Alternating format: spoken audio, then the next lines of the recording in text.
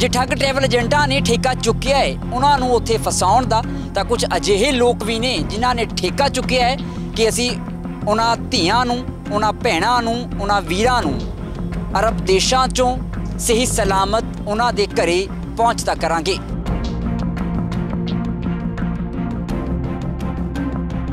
ਉਹ ਤਾਂ ਦੇਸ਼ ਇਦਾਂ ਦੇ ਨੇ ਜਿੱਥੇ ਕਾਨੂੰਨ ਬੜੇ ਸਖਤ ਨੇ, ਬੰਦੇ ਨੂੰ ਮਾਰ ਹੀ ਦੇਣਗੇ ਉਹ, ਚੁਰਾਹੇ 'ਚ ਖੜਾ ਕਰਕੇ।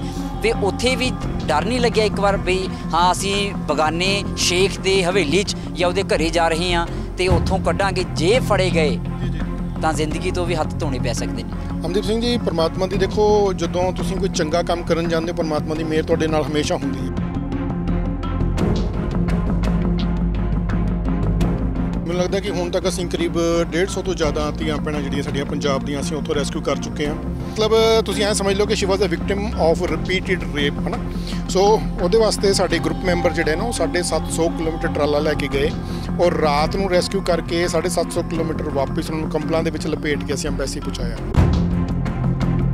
ਫੋਨ ਤੇ ਲੜਕੀ ਹੁੰਦੀ ਹੈ, ਉਹਨੂੰ ਅਸੀਂ ਪੂਰਾ ਗਾਈਡ ਕਰਦੇ ਹਾਂ ਵੀ ਇੱਦਾਂ ਇੱਦਾਂ ਤੁਸੀਂ ਨਿਕਲ ਕੇ ਆਣਾ ਫਲਾਣੇ ਰੰਗ ਦੀ ਗੱਡੀ ਖੜੀ ਹੈ, ਅਸੀਂ ਤੁਹਾਨੂੰ ਉੱਥੋਂ ਸੇਫ ਕੱਢ ਕੇ ਤੇ ਇੰਡੀਅਨ ਐਮਬੈਸੀ ਤੱਕ ਪਹੁੰਚਾ ਦਾਂਗੇ। ਉਹ ਜਿਹੜਾ ਕੁਵੈਤ ਦੇ ਵਿੱਚ ਇੰਡੀਅਨ ਐਮਬੈਸੀ ਦਾ ਪ੍ਰਿੰਸਿਸ ਹੈ, ਉਹ ਇੱਕ ਕਿਸਮ ਦਾ ਇੰਡੀਆ ਹੈ। ਸੋ ਇੱਕ ਵਾਰ ਤੁਸੀਂ ਉਹਦੇ ਵਿੱਚ ਪੈਰ ਰੱਖ ਲਿਆ ਤੇ ਫਿਰ ਦੁਨੀਆ ਦੀ ਕੋਈ ਤਾਕਤ ਨਹੀਂ ਬਣੀ ਕਿ ਜਿਹੜੀ ਤੁਹਾਨੂੰ ਉੱਥੋਂ ਬਾਹਰ ਕੱਢ ਸਕੇ।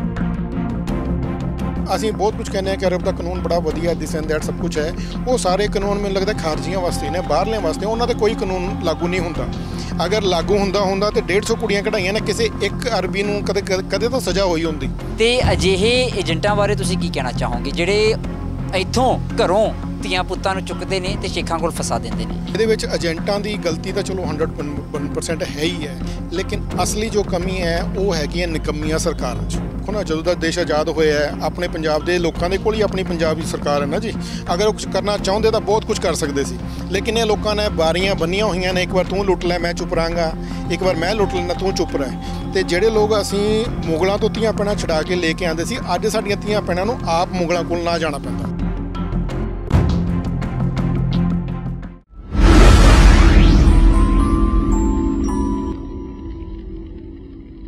ਅਸੀਂ ਅਕਸਰ ਦੇਖਦੇ ਹਾਂ ਕਿ ਅਰਬ ਦੇਸ਼ਾਂ ਦੇ ਵਿੱਚ ਸਾਡੇ ਕਈ ਵੀਰ, ਸਾਡੀਆਂ ਕਈ ਭੈਣਾਂ ਜੋ ਨੇ, ਉਹ ਜਾ ਕੇ ਫਸ ਜਾਂਦੀਆਂ ਨੇ। ਠੱਗ ਟਰੈਵਲ ਏਜੰਟ ਜੋ ਨੇ, ਉਹ ਪੈਸੇ ਠੱਗਣ ਦੇ ਮਾਰੀ, ਉਹਨਾਂ ਦੀ ਜ਼ਿੰਦਗੀ ਦੇ ਨਾਲ ਖਲਵਾੜ ਕਰਦੇ ਨੇ। ਜੇ ਠੱਗ ਟਰੈਵਲ ਏਜੰਟਾਂ ਨੇ ਠੇਕਾ ਚੁੱਕਿਆ ਹੈ, ਉਹਨਾਂ ਨੂੰ ਉੱਥੇ ਫਸਾਉਣ ਦਾ ਤਾਂ ਕੁਝ ਅਜਿਹੇ ਲੋਕ ਵੀ ਨੇ ਜਿਨ੍ਹਾਂ ਨੇ ਠੇਕਾ ਚੁੱਕਿਆ ਹੈ ਕਿ ਅਸੀਂ ਉਹਨਾਂ ਧੀਆਂ ਨੂੰ, ਉਹਨਾਂ ਭੈਣਾਂ ਨੂੰ, ਉਹਨਾਂ ਵੀਰਾਂ ਨੂੰ ਅਰਬ ਦੇਸ਼ਾਂ ਚੋਂ ਸਹੀ ਸਲਾਮਤ ਉਹਨਾਂ ਦੇ ਘਰੇ ਪਹੁੰਚਦਾ ਕਰਾਂਗੇ। ਦੇ ਖਬਰਸਾਰ ਨਾਲ ਜੁੜੇ ਸਾਰੇ ਹੀ ਦਰਸ਼ਕਾਂ ਦਾ ਸਵਾਗਤ ਹੈ। ਮੈਂ ਹਾਂ ਤੁਹਾਡੇ ਨਾਲ ਠਾਕੁਰ ਅਮਨਦੀਪ ਸਿੰਘ। ਇੱਕ ਅਜਿਹੇ ਹੀ ਸ਼ਖਸ ਦੇ ਨਾਲ ਤੁਹਾਨੂੰ ਅੱਜ ਰੂਬਰੂ ਕਰਵਾਵਾਂਗੇ, ਜਿਨ੍ਹਾਂ ਨੇ ਇਹ ਵਾਕਈ ਠੇਕਾ ਚੁੱਕਿਆ ਹੈ। ਕਈ ਭੈਣਾਂ ਨੂੰ, ਕਈ ਧੀਆਂ ਨੂੰ, ਕਈ ਵੀਰਾਂ ਨੂੰ ਉਹ ਸਹੀ ਸਲਾਮਤ ਉਹਨਾਂ ਦੇ ਪਰਿਵਾਰਾਂ ਤੱਕ ਪਹੁੰਚਤਾ ਕਰ ਚੁੱਕੇ ਨੇ। ਹਰਨੀਕ ਰੰਧਾਵਾ, ਸਭ ਤੋਂ ਪਹਿਲਾਂ ਸਵਾਗਤ ਕਰਾਂਗੇ। ਭਾਜੀ, ਬਹੁਤ ਸਵਾਗਤ ਹੈ ਤੇ ਖਬਰਸਾਰ ਠਾਕੁਰ ਸਾਹਿਬ ਆਪ ਜੀ ਦਾ ਬਹੁਤ-ਬਹੁਤ ਧੰਨਵਾਦ ਥੈਂਕ ਯੂ ਔਰ ਤੁਸੀਂ ਸਾਡੇ ਨਾਲ ਬਹੁਤ ਲੰਬੇ ਚਿਰ ਤੋਂ ਜੁੜੇ ਹੋਏ ਹੋ ਔਰ ਅਕਸਰ ਖਬਰਸਾਰ ਦੇ ਮਾਧਿਅਮ ਦੇ ਰਾਹੀਂ ਤੁਸੀਂ ਜੋ ਸਾਡੀ ਆਵਾਜ਼ ਹੈ ਹਮੇਸ਼ਾ ਬੁਲੰਦ ਕਰਦੇ ਰਹੇ ਹੋ। ਬਹੁਤ ਕੇਸਿਸ ਇਹੋ ਜਿਹੇ ਹੋਏ ਨੇ ਜਿਹਦੇ 'ਚ ਤੁਸੀਂ ਸਾਡਾ ਸਾਥ ਦਿੱਤਾ ਹੈ। ਉਹਦੇ ਵਾਸਤੇ ਧੰਨਵਾਦ ਔਰ ਅੱਜ ਚੰਡੀਗੜ੍ਹ ਆਪ ਜੀ ਦੇ ਨਾਲ ਮਿਲਣੀ ਹੋ ਰਹੀ ਹੈ। ਬਹੁਤ-ਬਹੁਤ ਸ਼ੁਕਰੀਆ। ਥੈਂਕ ਯੂ ਸੋ ਮਚ ਬਿਲਕੁਲ ਅ, ਹਾਲਾਂਕਿ ਭਾਜੀ ਨਾਲ ਮੇਰੀ ਪਹਿਲੀ ਮੁਲਾਕਾਤ ਹੈ ਪਰ ਇਦਾਂ ਨਹੀਂ ਲੱਗਿਆ ਕਿ ਅਸੀਂ ਪਹਿਲੀ ਵਾਰ ਮਿਲੇ ਹਾਂ ਕਿਉਂਕਿ ਫੋਨ ਤੇ ਰਾਬਤਾ ਕਈ ਸਾਲਾਂ ਦਾ ਹੈ। ਤੇ ਕਈ ਕੇਸਿਸ ਜੋ ਨੇ ਭਾਜੀ ਜੀ ਨੇ ਜਿਵੇਂ ਭਾਜੀ ਨੇ ਵੀ ਦੱਸਿਆ ਕਈ ਕੇਸਿਸ ਦਾ ਮੈਂ ਖੁਦ ਗਵਾਹ ਰਿਹਾ ਹਾਂ। ਭਾਜੀ ਸਭ ਤੋਂ ਪਹਿਲਾਂ ਮੈਂ ਸਵਾਲ ਇਹ ਕਰਾਂਗਾ ਹਰਨੀਕ ਰੰਧਾਵਾ ਤੋਂ ਹਰਨੀਕ ਰੰਧਾਵਾ ਹੈਲਪਲਾਈਨ ਕੈਨੇਡਾ ਦਾ ਸਫ਼ਰ ਕਿਵੇਂ ਰਿਹਾ? ਅ, ਠਾਕੁਰ ਸਾਹਿਬ ਐਕਚੁਅਲੀ ਕਾਫੀ ਲੰਬਾ ਮੇਰਾ ਸਟਰਗਲ ਦਾ ਅਰਸਾ ਰਿਹਾ ਔਰ ਕਾਫੀ ਮੁਲਕਾਂ ਦੇ ਵਿੱਚ ਇੰਡੀਆ ਦੇ ਕਾਫੀ ਸਟੇਟਸ ਦੇ ਵਿੱਚ ਮੈਂ ਕਾਫੀ ਲੰਬਾ ਟਾਈਮ ਜੋ ਹੈ ਕੰਮ ਕੀਤਾ। ਸੋ ਉਸ ਦੌਰਾਨ ਹੌਲੀ ਹੌਲੀ ਇਹ ਸੀਗਾ ਕਿ ਕਿਸੇ ਤਰੀਕੇ ਮੈਂ ਵੀ ਕੈਨੇਡਾ ਪਹੁੰਚਾਂਗਾ। ਤੋ ਜਦੋਂ 8-9 ਕੰਟਰੀਆਂ ਦੇ ਵਿੱਚ ਰਹਿ ਕੇ ਇੰਡੀਆ ਦੇ 12-13 ਸਟੇਟਸ ਦੇ ਵਿੱਚ ਕੰਮ ਕਰਕੇ ਹੌਲੀ ਹੌਲੀ ਤਰੱਕੀ ਦੀਆਂ ਸੀੜੀਆਂ ਚੜ੍ਹਦੇ ਹੋਏ, ਕਈ ਮੁਲਕਾਂ ਦੇ ਵਿੱਚੋਂ ਨਿਕਲਦੇ ਹੋਏ ਪਰਮਾਤਮਾ ਦੀ ਕਿਰਪਾ ਨਾਲ ਜਦੋਂ ਕੈਨੇਡਾ ਦਾ ਜੋ ਸਫ਼ਰ ਹੈ, ਉਹ ਜਦੋਂ ਪੂਰਾ ਹੋਇਆ 2013 ਚ ਜਦੋਂ ਮੈਂ ਕੈਨੇਡਾ ਪਹੁੰਚਿਆ, ਉਸ ਟਾਈਮ ਕੈਨੇਡਾ ਦੇ ਵਿੱਚ ਮੇਰਾ ਮਨ ਦਾ ਇਹ ਸੀਗਾ ਇੱਛਾ ਕਿ ਕਿ ਮੈਂ ਜੋ ਮੇਰਾ ਸਫ਼ਰ ਹੈ, ਉਹ ਮੈਂ ਲੋਕਾਂ ਨੂੰ ਐਕਸਪਲੇਨ ਕਰ ਸਕਾਂ ਕਿ ਮੈਂ ਕਿੱਦਾਂ ਇੱਥੇ ਪਹੁੰਚਿਆ। ਔਰ ਜਦੋਂ ਮੈਂ ਪਹਿਲੀ ਵਾਰ ਵੀਡੀਓ ਬਣਾ ਕੇ ਪਾਇਆ ਕੈਨੇਡਾ ਦਾ ਕਿ ਮੈਂ as a truck driver Canada ਦੇ ਵਿੱਚ ਕਿਸ ਤਰ੍ਹਾਂ ਆਇਆ, ਮੇਰਾ ਇਹ, ਮੇਰਾ ਮੇਨ ਮੋਟਿਵ ਸੀਗਾ ਕਿ ਜਿਹੜੇ ਅਰਬ ਦੇ ਵਿੱਚ ਜਾਂ ਜਿਹੜੀ ਬਾਕੀ ਕੰਟਰੀ ਦੇ ਵਿੱਚ ਸਾਡੇ ਵੀਰ ਭਰਾ ਰਹਿੰਦੇ ਨੇ, ਉਹ ਕੈਨੇਡਾ ਕਿਸ ਤਰ੍ਹਾਂ ਆ ਸਕਣ, ਉਹਨਾਂ ਨੂੰ ਮੈਂ ਇੱਕ ਗਾਈਡਲਾਈਨ ਦੇ ਸਕਾਂ ਕਿਹੜੇ ਕਿਹੜੇ ਤਰੀਕੇ ਨੇ ਪੋਸੀਬਲੀ ਜਿਹੜੇ ਲੀਗਲ ਵੇਜ਼ ਨੇ ਤਾਂ ਕਿ ਉਸ ਤਰੀਕੇ ਨਾਲ ਆ ਸਕਣ। ਸੋ ਪਰਮਾਤਮਾ ਦੀ ਕੁਝ ਐਸੀ ਰਜ਼ਾ ਬਣੀ ਕਿ 2013 ਚ ਮੈਂ ਜਦੋਂ ਕੈਨੇਡਾ ਪਹੁੰਚਿਆ, ਮੈਂ ਇੱਕ ਵੀਡੀਓ ਬਣਾ ਕੇ ਪਾਇਆ ਸੀਗਾ ਕਿ ਜਿਹਦੇ ਚ ਮੈਂ ਦੱਸਿਆ ਸੀਗਾ ਕਿ ਪੰਜਾਬੀ ਟਰੱਕ ਡਰਾਈਵਰ ਜਿਹੜੇ ਨੇ ਜਾਂ ਕੋਈ ਵੀ ਟਰੱਕ ਡਰਾਈਵਰ ਹੈ, ਅਗਰ ਕਿਸੇ ਅਗਰ ਉਹਦਾ ਮਨ ਦੀ ਇੱਛਾ ਹੈ ਕਿ ਮੈਂ ਕੈਨੇਡਾ ਪਹੁੰਚਣਾ ਹੈ, ਤੇ ਉਹ ਕਿਸ ਤਰੀਕੇ ਪਹੁੰਚ ਸਕਦਾ ਹੈ। ਸੋ ਉਹ ਜਿਹੜਾ ਮੈਂ ਪਹਿਲਾ ਵੀਡੀਓ ਪਾਇਆ ਉਹ ਵੀਡੀਓ ਜੋ ਹੈ ਬਹੁਤ ਵਾਇਰਲ ਹੋਇਆ ਪੂਰੀ ਦੁਨੀਆ ਦੇ ਕਰੀਬ ਕਰੀਬ ਹਰ ਜਗ੍ਹਾ ਉਹ ਦੇਖਿਆ ਗਿਆ ਉਹਦੇ ਮਿਲੀਅਨਸ ਦੇ ਵਿੱਚ ਉਸ ਵੀਡੀਓਜ਼ ਦੇ ਕਿਉਂਕਿ ਜਿਵੇਂ ਤੁਸੀਂ ਕਿਹਾ ਤੁਹਾਡਾ ਸੁਪਨਾ ਸੀ ਵੀ ਕੈਨੇਡਾ ਮੈਂ ਕਦੋਂ ਪਹੁੰਚਾਂਗਾ ਇਦਾਂ ਹੀ ਕਈ ਨੌਜਵਾਨਾਂ ਦਾ ਸੁਪਨਾ ਹੈ ਵੀ ਕੈਨੇਡਾ ਕਿਵੇਂ ਜਾਈਏ। ਤਾਂ ਮੇਰੇ ਖਿਆਲ ਜੋ ਵੀਡੀਓ ਤੋਂ ਕਿਤੇ ਨਾ ਕਿਤੇ ਸਪਾਰਕ ਮਿਲੀ ਹੋਣੀ ਹੈ ਇੱਕ ਰਾਹ ਦਿਖਿਆ ਹੋਣਾ ਹੈ ਵੀ ਜੇ ਹਰਨੀਕ ਰੰਧਾਵਾ ਸਾਹਿਬ ਜਾ ਸਕਦੇ ਨੇ ਵੀਡੀਓ ਪਾਈ ਹੈ ਅਸੀਂ ਵੀ ਰਸਤਾ ਦੇਖੀਏ। ਟਰੂ ਸੋ ਉਹ ਵੀਡੀਓ ਜਦੋਂ ਬਹੁਤ ਜ਼ਿਆਦਾ ਵਾਇਰਲ ਹੋਇਆ ਤੇ ਉਹਦੇ ਨਾਲ ਫਿਰ ਹੋਇਆ ਕਿ ਇੱਕ ਜਿਹਨੂੰ ਕਹਿ ਸਕਦੇ ਹਾਂ ਕਿ ਫੈਨ ਫੋਲੋਅਰ ਜਿਹੜਾ ਬੇਸ ਹੈ। ਉਹ ਬੇਸ ਤਿਆਰ ਹੋਣਾ ਸ਼ੁਰੂ ਹੋਇਆ। ਹੌਲੀ ਹੌਲੀ ਲੋਕਾਂ ਨੇ ਕੰਟੈਕਟ ਕਰਨਾ ਸ਼ੁਰੂ ਕੀਤਾ। ਤੇ ਸ਼ੁਰੂ ਤੋਂ ਹੀ ਮੇਰਾ ਜੋ ਹੈ, ਉਹ ਮਤਲਬ ਬੇਰੋਜ਼ਗਾਰਾਂ ਨੂੰ ਗਾਈਡ ਕਰਨ ਦਾ ਜਿਹੜਾ ਉਹ ਕਨਸੈਪਟ ਰਿਹਾ ਕਿਉਂਕਿ ਮੈਂ ਅਕਸਰ ਹਮੇਸ਼ਾ ਕਈ ਵਾਰ ਕੈਨੇਡਾ ਦੇ ਵਿੱਚ, ਅਮਰੀਕਾ ਦੇ ਵਿੱਚ, ਹਰ ਟੀਵੀ ਚੈਨਲ ਤੇ ਇਹ ਗੱਲ ਜ਼ਰੂਰ ਕਹਿਣਾ ਕਿ ਅੱਜ ਦੇਸ਼ ਦੇ ਬਾਰਡਰ ਤੇ ਜੰਗ ਨਹੀਂ ਲੱਗੀ ਜਿਹੜਾ ਤੁਸੀਂ ਆਪਣੀ ਦੇਸ਼ ਭਗਤੀ ਦਿਖਾਉਣੀ ਹੈ। ਅਸਲੀ ਦੇਸ਼ ਭਗਤੀ ਅੱਜ ਦੀ ਡੇਟ 'ਚ ਕਿਸੇ ਬੇਰੋਜ਼ਗਾਰ ਨੂੰ ਜੌਬ ਤੇ ਲਗਵਾਉਣਾ ਅਸਲੀ ਦੇਸ਼ ਭਗਤੀ ਹੈ। ਸੋ 2013 ਜਦੋਂ ਉਹ ਵੀਡੀਓ ਪਾਇਆ, ਉਹਦੇ ਨਾਲ ਫਿਰ ਲੋਕ ਜਿਹੜੇ ਨੇ ਉਹ ਜੁੜਦੇ ਚਲੇ ਗਏ ਔਰ ਜੁੜਨ ਨਾਲ ਇਹ ਹੋਇਆ ਕਿ ਫਰੈਂਡ ਬੇਸ ਜੋ ਹੈ ਉਹ ਤਿਆਰ ਹੋਇਆ। ਉਹਦੇ ਨਾਲ ਜਿਸ ਤਰ੍ਹਾਂ ਜਿਸ ਤਰ੍ਹਾਂ ਲੋਕ ਜੁੜੇ, ਉਹਦੇ ਹਿਸਾਬ ਨਾਲ ਫਿਰ ਉਹਨਾਂ ਦੀਆਂ ਪ੍ਰੋਬਲਮਸ ਵੀ ਸਾਡੇ ਤੱਕ ਪਹੁੰਚਣੀਆਂ ਸ਼ੁਰੂ ਹੋਈਆਂ। ਔਰ ਫਿਰ ਇਹ ਜਿਹੜੀ ਪ੍ਰੋਬਲਮਸ ਨੇ ਅਰਬ ਕੰਟਰੀਆਂ ਤੋਂ ਸਾਡੇ ਤੱਕ ਪਹੁੰਚਣੀਆਂ ਸ਼ੁਰੂ ਹੋਈਆਂ। ਫਰੈਂਡ ਲੈਵਲ ਜਿਹੜਾ ਬੇਸ ਲੈਵਲ ਸੀ ਕਾਫੀ ਵੱਡਾ ਹੋ ਗਿਆ। ਅਰਬ ਕੰਟਰੀਆਂ 'ਚ ਕਾਫੀ ਵੀਰ ਸਾਡੇ ਨਾਲ ਜੁੜੇ। ਸੋ ਇਹ ਜਿਹੜੀਆਂ ਪ੍ਰੋਬਲਮ ਅਰਬ ਤੋਂ ਸਾਡੇ ਤੱਕ ਪਹੁੰਚਣੀਆਂ ਸ਼ੁਰੂ ਹੋਈਆਂ। ਫਿਰ ਅਰਬ ਦੇ ਵੀਰਾਂ ਤੋਂ ਹੀ ਹੈਲਪ ਲੈ ਕੇ ਜੋ ਹੈ ਉਹ ਅਸੀਂ ਉਹਨਾਂ ਜਿਹੜੀਆਂ ਪ੍ਰੋਬਲਮਸ ਦਾ, ਉਹਨਾਂ ਦਾ ਨਿਪਟਾਰਾ ਕਰਨਾ ਜਿਹੜਾ ਉਹ ਸ਼ੁਰੂ ਕੀਤਾ। ਜੀ।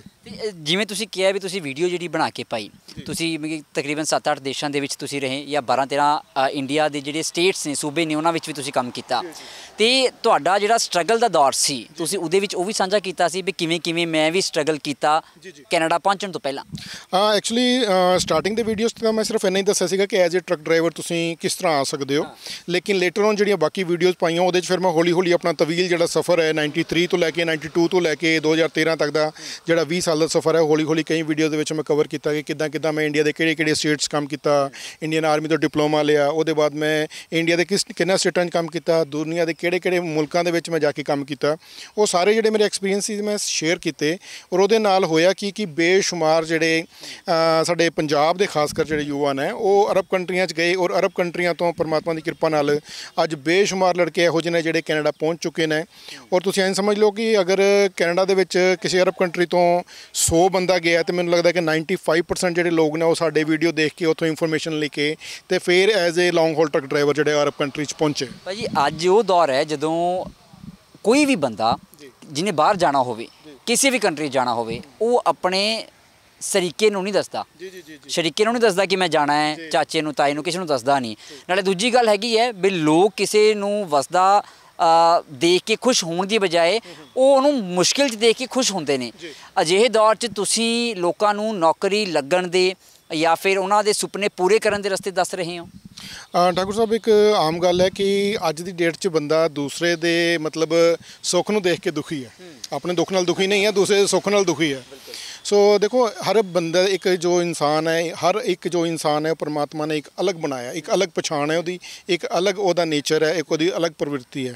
ਸੋ ਮੇਰੀ ਜਿਹੜੀ ਬਚਪਨ ਤੋਂ ਪ੍ਰਵਿਰਤੀ ਹੈ ਉਹ ਦੂਸਰਿਆਂ ਦੀ ਮਦਦ ਕਰਨ ਵਾਲੀ ਰਹੀ ਹੈ। ਸੋ ਪਰਮਾਤਮਾ ਦੀ ਕਿਰਪਾ ਨਾਲ ਇਹ ਸ਼ੁਰੂ ਤੋਂ ਹੀ ਕਿਰਿਆ ਜਦੋਂ ਮੈਂ 92 93 ਚ ਪਹਿਲੀ ਵਾਰ ਚੰਡੀਗੜ੍ਹ ਆ ਕੇ ਜੌਬ ਕੀਤੀ ਸੀ। ਮੈਨੂੰ ਯਾਦ ਹੈ ਮੈਂ ਜਦੋਂ ਪਹਿਲੀ ਵਾਰ ਵਾਪਸ ਗਿਆ ਤੇ ਮੈਂ ਪਿੰਡੋਂ ਕੋਈ ਮੁੰਡਾ ਲੈ ਕੇ ਆਇਆ ਸੀ ਉਹਨੂੰ ਜੌਬ ਲਗਵਾਇਆ ਸੀਗਾ। ਸੋ ਇਹ ਡੇ 1 ਤੋਂ ਹੀ ਇਨਬਿਲਟ ਹੀ ਹੈ ਦੂਜਿਆਂ ਦੀ ਮਦਦ ਕਰਨੀ। ਸੋ 93 ਤੋਂ ਇਹ ਕੰਮ ਜਾਰੀ ਰਿਹਾ। ਉਹਦੇ ਬਾਅਦ ਜਿਹੜੇ ਇੰਡੀਆ ਦੇ ਜਿਹੜੇ ਵੱਖ ਵੱਖਰੀ ਸਟੇਟਾਂ ਦੇ ਵਿੱਚ ਮੈਂ ਕੰਮ ਕੀਤਾ ਉੱਥੇ ਵੀ ਆਪਣੇ ਏਰੀਆ ਦੇ ਕਾਫੀ ਵੀਰਾਂ ਨੂੰ ਨਾਲ ਲਿਜਾ ਕੇ ਮੈਂ ਜੌਬ ਤੇ ਲਗਵਾਇਆ। ਔਰ ਇਹ ਚੀਜ਼ ਅੱਜ ਤੱਕ ਜੋ ਹੈ ਜਾਰੀ ਹੈ। ਲੇਕਿਨ ਭਾਜੀ ਹਰਨੀਕ ਰੰਧਾਵਾ ਹੈਲਪਲਾਈਨ ਕੈਨੇਡਾ ਇਹ ਬੇਸਿਕਲੀ ਨੌਕਰੀਆਂ ਲਵਾਉਣ ਦੇ ਲਈ ਕੈਨੇਡਾ ਵਿੱਚ ਜਾਂ ਕਿਸੇ ਵੀ ਦੇਸ਼ ਦੇ ਵਿੱਚ ਸ਼ੁਰੂ ਕੀਤੀ ਗਈ ਸੀ ਜਾਂ ਫਿਰ ਜਿਹੜੇ ਫਸੇ ਹੋਏ ਨੇ ਨੌਜਵਾਨ ਵਿਦੇਸ਼ਾਂ ਦੇ ਵਿੱਚ ਆਪਣੇ ਘਰ ਨੂੰ ਛੱਡ ਕੇ ਜਾਂ ਠੱਗ ਟਰੈਵਲ ਏਜੰਟਾਂ ਦੇ ਹੱਥੇ ਚੜ ਕੇ ਉਹਨਾਂ ਨੂੰ ਬਚਾਉਣ ਦੇ ਲਈ ਸ਼ੁਰੂ ਕੀਤੀ ਗਈ ਹਾਂ ਜਦੋਂ ਹਰਨੇਕ ਰੰਧਾਵਾ ਹੈਲਪਲਾਈਨ ਕੈਨੇਡਾ ਮੈਂ ਸ਼ੁਰੂ ਕੀਤੀ ਹੈ ਉਹ ਐਕਚੁਅਲੀ ਥੋੜਾ 2 ਜਾਂ 3 ਸਾਲ ਬਾਅਦ ਸ਼ੁਰੂ ਕੀਤੀ ਹੈ। 2013 ਦੇ ਵਿੱਚ ਮੈਂ ਗਿਆ ਸੀਗਾ 2014 ਲਾਸਟ ਦੇ ਵਿੱਚ ਜਦੋਂ ਬੇਸ ਜਿਹੜਾ ਉਹ ਵਧਣਾ ਸ਼ੁਰੂ ਹੋ ਗਿਆ ਔਰ WhatsApp ਦਾ ਗਰੁੱਪ ਤੁਹਾਨੂੰ ਪਤਾ ਉਸ ਟਾਈਮ 2-250 ਬੰਦੇ ਤੁਸੀਂ ਐਡ ਕਰ ਸਕਦੇ, ਉਸ ਤੋਂ ਜ਼ਿਆਦਾ ਐਡ ਨਹੀਂ ਸੀ ਕਰ ਸਕਦੇ। ਲੋਕਾਂ ਨੇ ਇਸ ਸਾਲ ਟੈਲੀਗ੍ਰਾਮ ਐਪਲੀਕੇਸ਼ਨ ਡਾਊਨਲੋਡ ਕਰਨੀ ਸ਼ੁਰੂ ਕੀਤੀ ਹੈ। ਮੈਂ 2014 ਤੋਂ ਸਾਰਾ ਜਿਹੜਾ ਗਰੁੱਪ ਹੈ, ਉਹ ਟੈਲੀਗ੍ਰਾਮ ਐਪਲੀਕੇਸ਼ਨ ਤੇ ਮੂਵ ਕਰ ਲਿਆ ਸੀ, ਕਿਉਂਕਿ ਜਿਹੜੇ ਲੋਕ ਨੇ, ਜਿਹੜੇ ਸਾਡੇ ਵੀਰ ਭਰਾ ਨੇ ਦੂਸਰੇ ਕੰਟਰੀ ਤੋਂ, ਉਹ ਜੁੜਨ ਵਾਲੀ ਤਾਦਾਦ ਵੱਧ ਗਈ ਸੀ। ਔਰ ਉਹਦੇ ਵਿੱਚ ਆਪਾਂ ਆਲਮੋਸਟ 8-10 ਹਜ਼ਾਰ ਬੰਦਾ ਜਿਹੜਾ, ਆਪਾਂ ਜੋੜ ਸਕਦੇ ਹਾਂ। ਸੋ ਜਿੱਦਾਂ ਜਿੱਦਾਂ ਬੇਸ ਲੈਵਲ ਵੱਧਦਾ ਗਿਆ, ਫਿਰ ਉਹਨਾਂ ਦੀਆਂ ਜਿੱਦਾਂ ਮੈਂ ਪਹਿਲਾਂ ਕਿਹਾ ਕਿ ਉਹਨਾਂ ਦੀ ਪ੍ਰੋਬਲਮ ਵੀ ਸਾਂਝੀਆਂ ਹੁੰਦੀਆਂ ਗਈਆਂ। ਲੇਕਿਨ ਇਹ ਹੈਲਪਲਾਈਨ ਦੇ ਦੋ ਮੇਨ ਮੋਟਿਵ ਰਹੇ। ਇੱਕ, ਜਿਹੜੇ ਜਿਹੜੇ ਪੰਜਾਬ ਦੇ ਜਿਹੜੇ ਬੇਰੋਜ਼ਗਾਰ ਨੇ, ਉਹਨਾਂ ਨੂੰ ਗਲਫ ਵਾਲੇ ਗਾਈਡ ਕਰਨ ਔਰ ਗਲਫ ਵਾਲਿਆਂ ਨੂੰ ਮੈਂ ਗਾਈਡ ਕਰਾਂ। ਸੋ ਇਸ ਤਰ੍ਹਾਂ ਇੱਕ ਚੇਨ ਬਣ ਗਈ ਕਿ ਅਸੀਂ ਗਲਫ ਵਾਲਿਆਂ ਨੂੰ ਕਿਹਾ ਕਿ ਅਸੀਂ ਤੁਹਾਡੀ ਹੈਲਪ ਤਾਂ ਕਰਾਂਗੇ, ਜੇ ਤੁਸੀਂ ਪੰਜਾਬ ਦੇ ਬੇਰੋਜ਼ਗਾਰਾਂ ਦੀ ਹੈਲਪ ਕਰੋਗੇ, ਤੁਸੀਂ ਉਹਨਾਂ ਦੀ ਹੈਲਪ ਕਰੋ, ਅਸੀਂ ਤੁਹਾਨੂੰ ਕੈਨੇਡਾ 'ਚ ਹੈਲਪ ਕਰਾਂਗੇ। So it become like a chain so chain reaction ਹੋ ਗਿਆ। ਅਸੀਂ ਜਿਹੜੇ ਕੈਨੇਡਾ ਬੁਲਾਉਣ ਚ ਉਹਨਾਂ ਦੀ ਹੈਲਪ ਕਰਨ ਲੱਗ ਗਏ ਤੇ ਉਹ ਜਿਹੜੇ ਵੀਰ ਨੇ ਦੁਬਈ ਵਾਲੇ, ਕਤਰ, ਕੁਵੈਤ, ਓਮਾਨ, ਬਹਿਰੀਨ ਵਾਲੇ ਜਿਹੜੇ ਵੀਰ ਨੇ, ਉਹ ਜਿਹੜੇ ਪੰਜਾਬ 'ਚ ਬੇਰੋਜ਼ਗਾਰ ਵੀਰ ਸੀਗੇ, ਉਹਨਾਂ ਦੀ ਮਦਦ ਕਰਨ ਵਾਸਤੇ ਇੱਕ ਉਹਨਾਂ ਦਾ ਪੂਰਾ ਸਿਸਟਮ ਚੇਨ ਬਣ ਗਈ। ਸੋ ਹੌਲੀ ਹੌਲੀ ਇਹ ਦੋ ਕੰਮਾਂ ਤੇ ਆ ਕੇ ਜਿਹੜਾ ਸਾਡਾ ਗਰੁੱਪ ਮਤਲਬ ਸਟਕ ਹੋ ਗਿਆ। ਇੱਕ ਜਿਹੜੇ ਵੀਰ ਉੱਥੇ ਫਸੇ ਨੇ, ਜਿਹੜੀਆਂ ਭੈਣਾਂ ਸਾਡੀਆਂ ਉੱਥੇ ਫਸੀਆਂ ਨੇ, ਉਹਨਾਂ ਨੂੰ ਉੱਥੋਂ ਕਢਾ ਕੇ ਇੰਡੀਆ ਸਹੀ ਸਲਾਮਤ ਭੇਜਣਾ। ਕਈ ਵੀਰਾਂ ਦੀ ਉੱਥੇ ਡੈਥ ਹੋ ਗਈ, ਉਹਨੇ ਡੈੱਡ ਬੋਡੀਜ਼ ਉੱਥੋਂ ਫਲੋਟ ਕਰਾਉਣੀਆਂ। ਔਰ ਇਹਦੇ ਨਾਲ ਨਾਲ ਜਿਹੜਾ ਹੈ ਕਿ ਪ੍ਰੋਪਰ ਇਨਫੋਰਮੇਸ਼ਨ ਜਿਹੜੀ ਆ ਉਹ ਸ਼ੇਅਰ ਕਰਨੀ ਕਿ ਤਾਂ ਕਿ ਤੁਸੀਂ ਇੱਕ ਸਹੀ ਜੌਬ ਲੈ ਸਕੋ ਔਰ ਕਿਸੇ ਅੱਛੀ ਕੰਟਰੀ ਜਾ ਸਕੋ। ਇਹਦੇ ਨਾਲ ਇੱਕ ਚੀਜ਼ ਜਿਹੜੀ ਐਕਸਟਰਾ ਸਮਝ ਲਓ ਉਹ ਇਹ ਚੀਜ਼ ਐਡ ਹੋ ਗਈ ਕਿ ਸਾਰੇ ਵੀਰ ਜਦੋਂ ਨਾਲ ਜੁੜੇ ਨੇ, ਤਾਂ ਉਸ ਕਰਕੇ ਹੌਲੀ ਹੌਲੀ ਅਸੀਂ ਸਾਲ ਦੇ ਵਿੱਚ ਕੋਈ ਇੱਕ ਅੱਧਾ ਜਿਹੜਾ ਉਹ ਕਿਸੇ ਗਰੀਬ ਪਰਿਵਾਰ ਵਾਸਤੇ ਘਰ ਬਣਾਉਣਾ ਸ਼ੁਰੂ ਕੀਤਾ। ਹੁਣ ਤੱਕ ਅਸੀਂ ਚਾਰ ਘਰ ਬਣਾ ਚੁੱਕੇ ਹਾਂ, ਪੰਜਵੇਂ ਘਰ ਦਾ ਜੋ ਕੰਮ ਚੱਲ ਰਿਹਾ। ਸੋ ਜਿਹੜੀ ਹੈਲਪਲਾਈਨ ਹੈ ਉਹ ਦੇਖ ਦੇਖਿਆ ਜਾਏ ਤਾਂ ਚੰਗੇ ਕੰਮਾਂ ਨੂੰ ਦੇਖ ਕੇ ਹੋਰ ਐਕਸਪੈਂਡ ਹੁੰਦੀ ਗਈ। ਕੋਈ ਇੱਕ ਜਾਂ ਦੋ ਕੰਮ ਕਰਕੇ ਰੁਕੀ ਨਹੀਂ ਰਹੀ। ਹੋਰ ਉਹਦੇ ਵਿੱਚ ਨਵੀਆਂ ਨਵੀਆਂ ਚੀਜ਼ਾਂ ਦਾ ਜਿਹੜਾ ਨਾ, ਉਹ ਅਸੀਂ ਉਹਨਾਂ ਨੂੰ ਐਡ ਕਰਦੇ ਰਹੇ, ਜਿੱਦਾਂ ਹੁਣ ਮਕਾਨ ਬਣਾਉਣ ਬਣਾਉਣ ਦਾ ਕੰਮ ਚੱਲ ਰਿਹਾ। ਸੋ ਕਈਆਂ ਨੂੰ ਅਸੀਂ ਜਿੱਦਾਂ ਕੋਈ ਬਿਮਾਰ ਸ਼ਮਾਰ ਹੁੰਦਾ, ਉਹਦੀ ਵੀ ਕਦੇ ਨਾ ਕਦੇ ਕੋਈ ਇਸ ਤਰ੍ਹਾਂ ਹੈਲਪ ਕਰਦੇ ਹਾਂ। ਸੋ ਇਹ ਕੋਈ ਇੱਕ ਚੀਜ਼ ਨਾਲ ਸਟਕ ਨਹੀਂ ਹੈ ਕਿ ਅਸੀਂ ਸਿਰਫ ਇਹੀ ਕਰਦੇ ਹਾਂ, ਲੇਕਿਨ ਬੇਸਿਕ ਦੋ ਹੀ ਚੀਜ਼ਾਂ ਨੇ। ਇੱਕ ਜਿਹੜੇ ਅਰਬ 'ਚ ਸਾਡੇ ਧੀਆਂ ਭੈਣ ਭਰਾ ਫਸੇ ਨੇ, ਉਹਨਾਂ ਦੀ ਹੈਲਪ ਕਰਨਾ।